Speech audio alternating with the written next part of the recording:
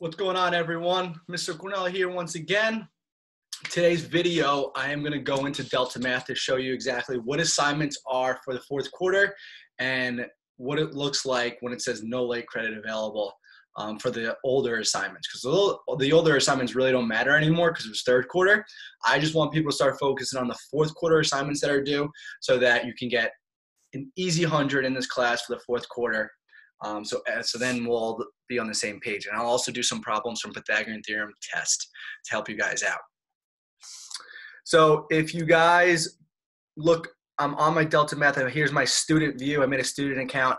As you can see, there's upcoming assignments, one, two, and three. Those are the only three assignments right now for the fourth quarter.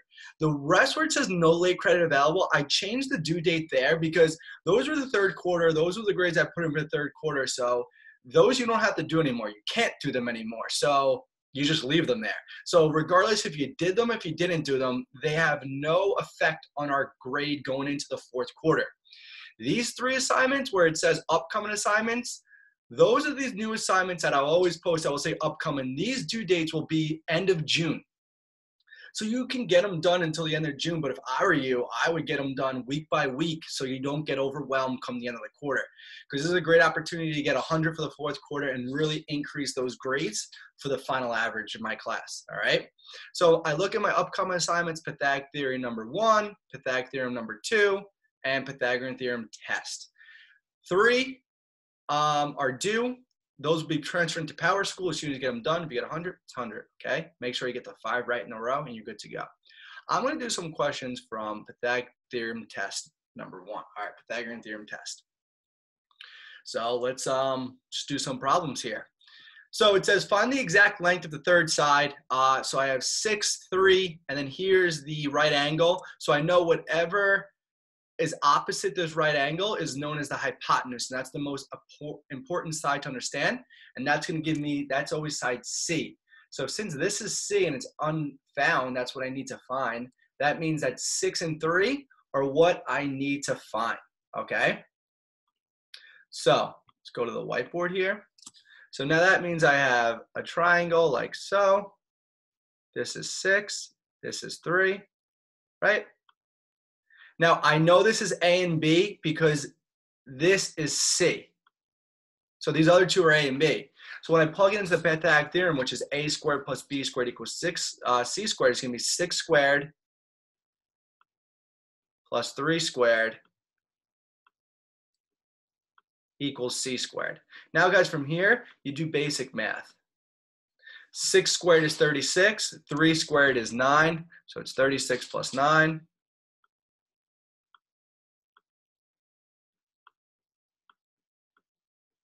Right? Now you do 36 plus 9.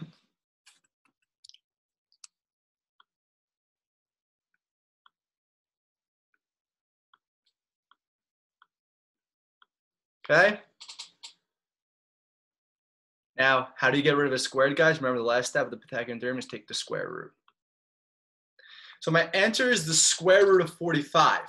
Now, when I go back to here, now I know my answer is square root of 45. Now find the exact length of the third side. So when I put in the square root of 45, let's see what happens. Bam. That's the exact length of the third. Third side is the square root of 45. That's it. All right, let's do another one. And look, it tells you how to do it, guys. If it said to you, what was the length to the nearest tenth, then I would have taken the square root of it. I put it into my calculator, into my phone, or the calculator gives you right up here, okay? Let's try another one. Okay, this is a good one. So it's four and eight. Now look how it is.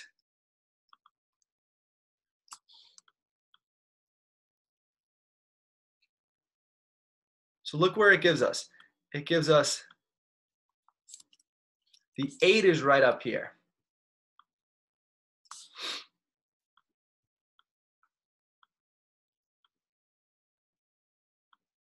So the 8's here. So now look, they gave us C. So now pretend this is A, this is B, and that's C.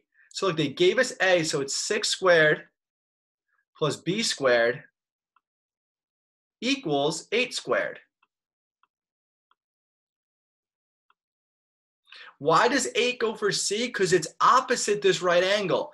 We have to find this B. So then I left A to be 6 squared. We don't know the other shorter side. They gave us C, so it goes on the other side of the equal sign. That's the most important one. So you do 6 squared, which is 36, plus B squared equals 64. Now look, you just solve, guys. It's like an equation. Minus 36 from both sides.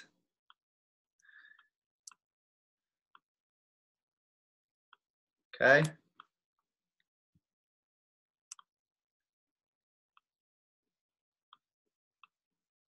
This is going to be 28.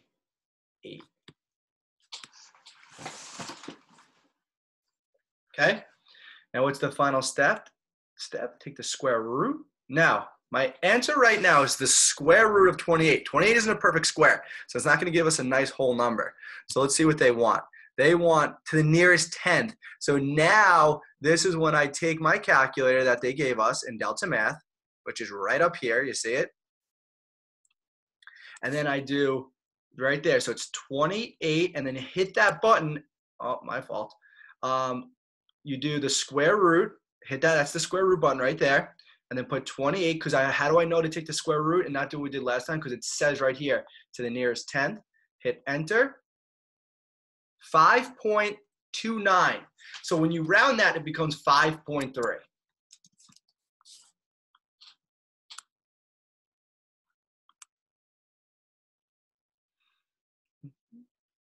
All right. Oh, it's four. My fault, guys.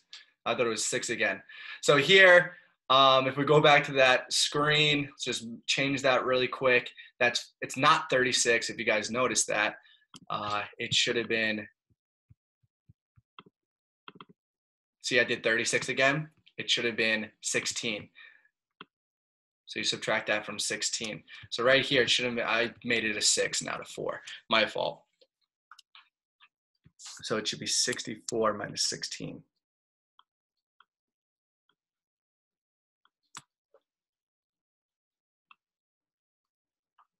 48. So it's the square root of 48. My fault. So square root of 48. Let's find that, put that in our calculator again. So I do delete. So square root of 48, enter.